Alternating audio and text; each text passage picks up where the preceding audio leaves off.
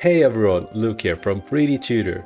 Today I'm showcasing a charming little asset set that's all about classic rural atmosphere, the 3D Tudor Asian Farm Tool Pack.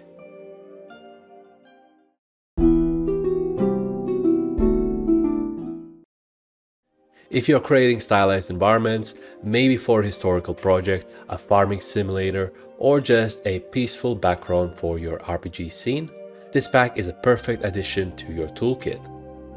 So what's in the pack?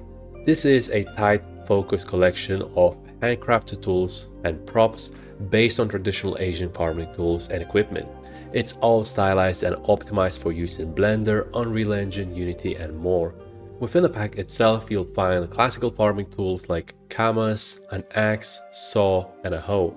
Also, you will get an ox cart and a wooden handcart. In addition to that, hay bales, baskets, and a glowing lantern will also be included. And to top it off, a set of plows and harrows with variants you can animate or scatter on the ground for your environment. Every prop feels like it belongs in a handcrafted world, whether you're building a tranquil rural village or a scene with a bit more grit, this pack makes it easy to drop in a visual storytelling without the need to sculpt from scratch. Why is it useful? Well, everything is modular, game ready and stylistically cohesive. It's especially great for stylized world building, historical or fantasy settings, background details in animation or cutscenes.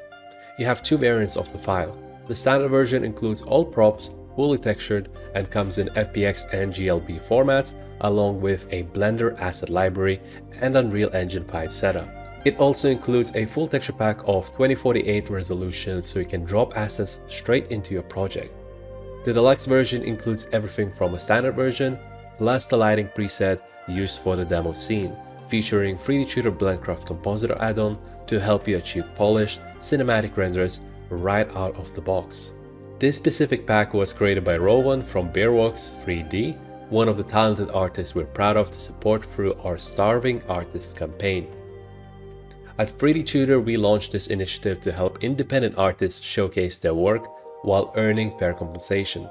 Artists keep 50% of the revenue, allowing them to focus on what they do best, creating amazing stylized assets, while we handle the rest, including sales and advertisement. So when you pick up this pack, you're not only adding great props to your library, you're directly supporting Rowan. And if you want to be part of that creative journey, join the 3D Tudor community Want to share your scenes or get feedback from fellow creators? Our Discord community has over 500 members and counting.